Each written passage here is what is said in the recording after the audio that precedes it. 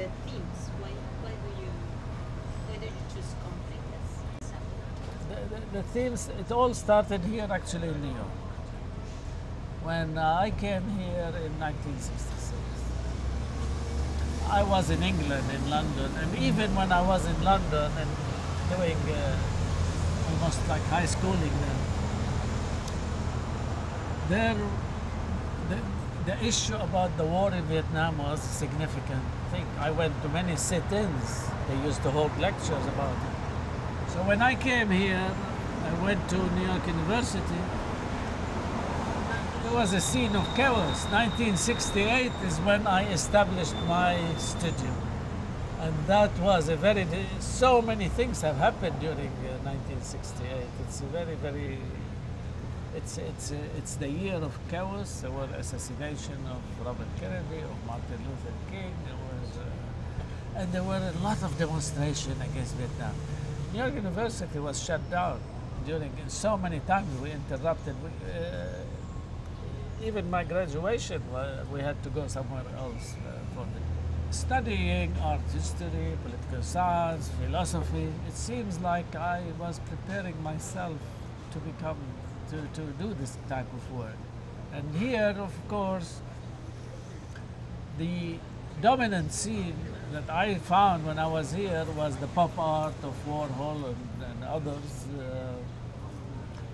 uh, that I uh, was surprised, you know, some of it responded a little bit, but there was not really, I did not find a lot of interesting work that responded to the subject of war.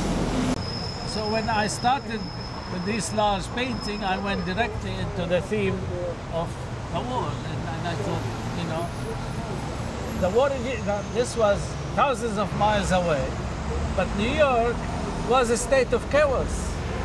Under the atmosphere of Vietnam was incredible It was incredible in New York.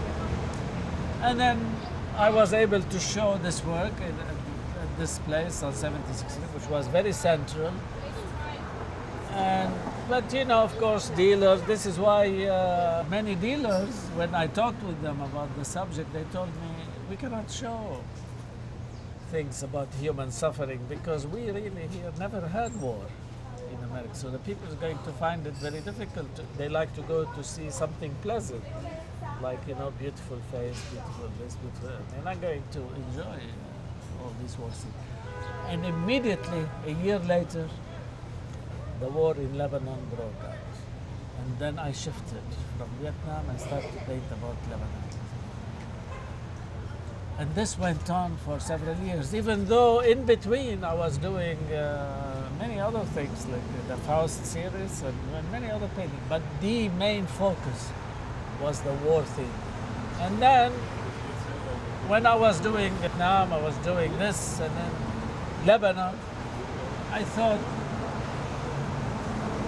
it is still part of our history that we look few more years back, look back to World War II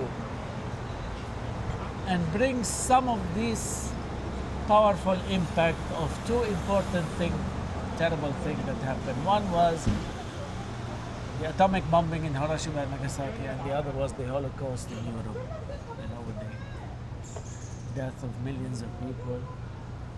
And so I did also these two series which became incorporated into the split of life painting. So it's a continuation of what I look at it today, 25, 30 years later since Vietnam.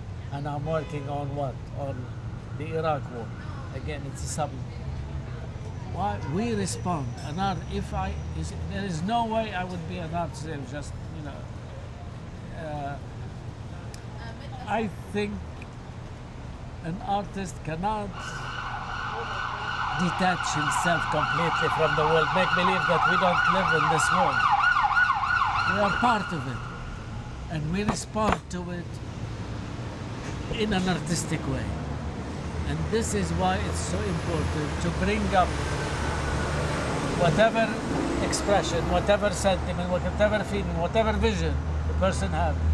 We, you know, we hear there is a war in Vietnam, but I have a vision of the war too, not only, you know, of the stupidity, of the nonsense, of the horror, of the suffering, of the what for? Why, why, why all this? So what would the artist sit aside and do something completely different? I always thought we have to be involved. So at that time, you know, it was uh, art for art's sake, but we could not touch political subject. But I touched them and I immersed myself into them, and this is why. Uh, in my exhibition it was called Apocalypse según Nabil Kanso. It was the word so El Pintor del Apocalipsis, painter of the apocalypse, because they, they, saw this as my vision of the apocalypse. You know, when you paint so much chaos, so much war, so much human suffering, so much brutality. But this is something that exists. It is a continuation. It's perpetuating. It is affecting our life of course, look at people here, they turn their back, they say this has nothing to do with us. But it is having to do with it. Thousands of people, thousands of American soldiers have been killed. It, uh, their family have been orphans, they have children, they have wives. Uh, was it worth it? Was this this? And now today we have another war. The Russian, you know, just walked in and in, in 24 hours, about 2,000 people are dead in, in Georgia, in the Russian Republic. So it's a, it's a very important subject. It's a very important subject. We have to respond to it. I respond to it just as I respond to any other issue.